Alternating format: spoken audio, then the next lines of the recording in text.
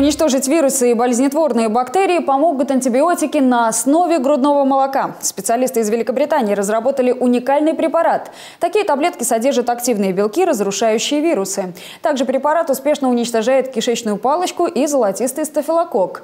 Изучение полезных свойств грудного молока продолжается, однако исследователи уже сегодня уверены, что после проведения всесторонних анализов и ряда экспериментов можно будет разработать более эффективное лекарство, чем существующие ныне антибиотики.